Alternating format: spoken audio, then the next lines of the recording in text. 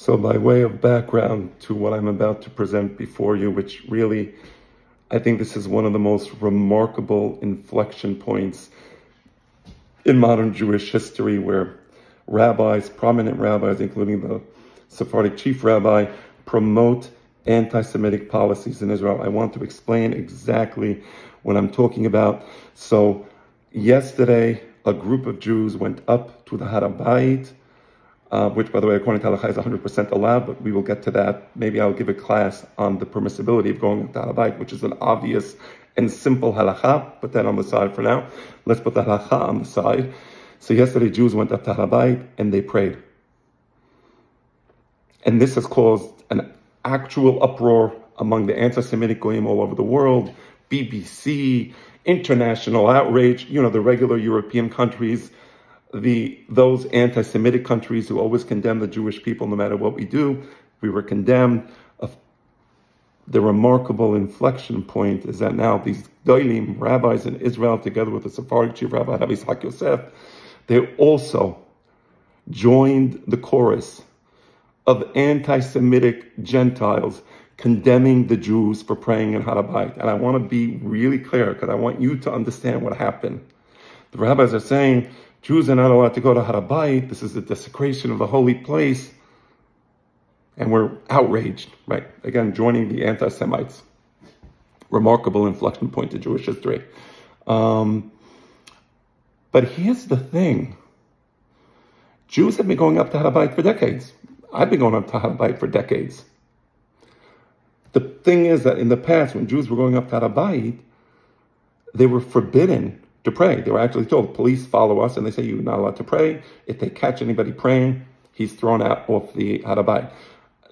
I mean Jews, not Muslims, because Muslims are allowed to pray in Harabai. If you're a Goy, I don't know, a Christian, you can pray in Harabai. If you're a Jew, you're not allowed to pray in Harabai. So this anti-Semitic policy has been in place for decades. And now the new Minister of Security in Israel has decided to um, annul this anti-Semitic policy. Yesterday, Jews went up to Harabait and they started praying.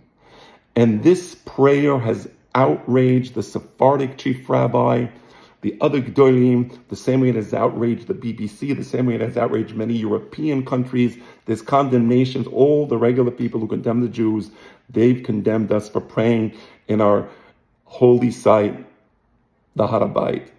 So Make of it what you will. But really, I have to ask a question.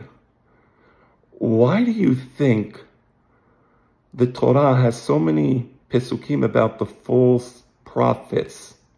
A false prophet is a person who seems to be a real prophet, but is really just pretending. Why do you think we have so many stories in the Nevi'im about the Nevi'eh Sheker? Do you think maybe it's because God wanted to prepare us by making us more intelligent and more discerning. And maybe if there's false prophets or false rabbis, we would be able to identify them. Well, maybe one way to identify false prophets or false rabbis is when they join the anti-Semitic attacks against the Jewish people. This is just unbelievable. And I have to say, actually, I'll say one more thing. I think I've already said that. I'll say one more thing. The chief rabbi, Harav Yitzchak Yosef, he said in his video, and he's begging the Goyim, please forgive us. We didn't mean anything. Right? The chief, the chief rabbi the Jewish people, right? Sephardic chief rabbi, right? He said they don't represent the Jewish people. Yes, the chief rabbi who said that nobody's allowed to serve in the IDF, right? He's the one saying that those people who do serve in the IDF and do work and do study Torah, they don't represent the Jewish people. The Sephardic chief rabbi, who was essentially against the state of Israel, in as much as he said that if the state of Israel forces us to serve in the army, meaning the yeshiva boys like everybody else, he will leave the state of Israel. We will pack our bags and leave. So he represents the Jewish people, right? But the Jews who went up to Harabait and they dared to pray, they don't represent the Jewish people right, the chief rabbis and the gdolim that join the chorus of Jew hatred They represent the Jewish people.